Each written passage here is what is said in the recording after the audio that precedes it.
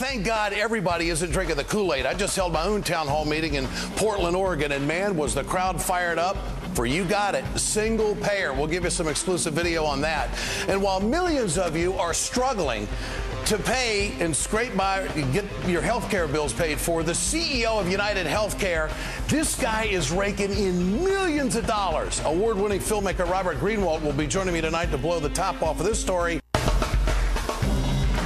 President Obama and progressives in Congress are facing some pretty fierce competition to their health care reform efforts. They're up against Republicans, blue dogs, and those right wingers who have been disrupting town hall meetings across America. But they also have to contend with insurance CEOs who are lobbying hard against any kind of reform. And it's not hard to figure out why. Those CEOs, they are maintaining wildly extravagant lifestyles by denying patients care. The production company, Brave New Films, just put out a new film exposing one of those guys like United Healthcare Group's Stephen Hemsley. My name is Steve Hemsley, and I'm the president and the chief executive of United Health Group. Our mission at United Health Group is to help people live healthier lives. The CEO of United Health Group, Stephen Hemsley, his salary $3.2 million the incredible gross profits of the private health insurance industry that is at the core of the problem. A few years ago, I think the president of United Healthcare um, made uh, so much money that one in every $700 that was spent in this country on healthcare went to pay him. Profits these insurance companies are making, folks, absolutely, they are obscene. And in case you're wondering, that guy speaking at the end was your favorite talk show host, Ed. Now, I'd like to remind you about the outcry uh, from the Congress and Americans when those auto industry executives, remember when they flew those corporate jets into Washington when they were looking for a bailout? The media was stuck on that story for two weeks. Those trips cost about 20 grand. You know, to fly that G4, G5 in there from Detroit, $20,000 in gas. Now, Stephen Hemsley makes, get this, folks, $102,000 an hour. You want to know where your premium is going? Where's the outcry? Where's the coverage on that? Joining me now is filmmaker and political activist and director of Brave New Films, Mr. Robert Greenwald. Robert, great to have you back with us tonight.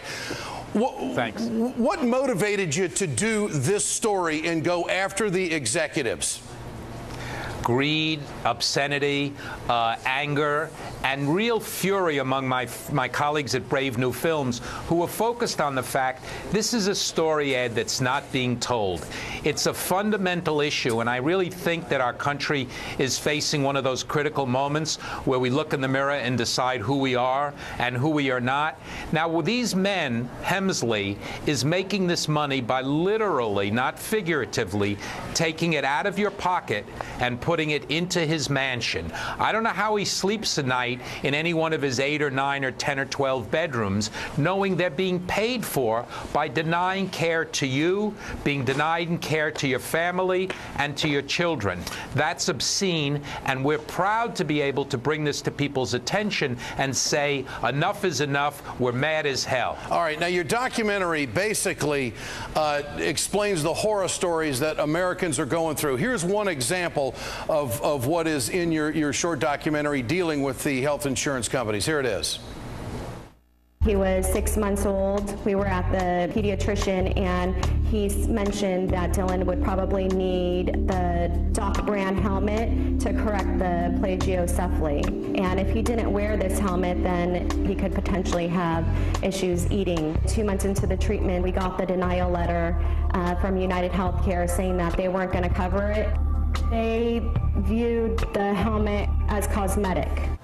Now, Mr. Greenwald, are, are, you basically saying here that that child and many other Americans could be covered if they weren't uh, taking us to the cleaners in the front office and you're using the example of the CEO? Is that where you're coming from? Oh, look, there's no question about it. Think of it if we, if the fire department or the police department were a for-profit entity, and every time they went to a fire or, or arrested somebody, they were profiting from it. Only here it's exactly the opposite. Every single time they deny you, every single time they cut off your insurance, and every single time you say claim rejected, it's going into Stephen Hemsley's pocket to build a bigger and more obscene mansion. Well, let's talk about his pocket. In 2008, these are the kind of numbers he had. His compensation was $3.2 million. His unexercised stock options were $744 million. In 2009, this year, the guy's looking at $4 million a week in gross pay. That's $819,000 a day, and that equates to just over $102,000 every hour. Do you think, based on your experience of documentaries, that this kind of testimony and these kind of numbers will get the attention of those in the Congress to realize that we absolutely have to have some kind of regulation? Well, we're counting on people like you, Ed, and your audience to spread the word.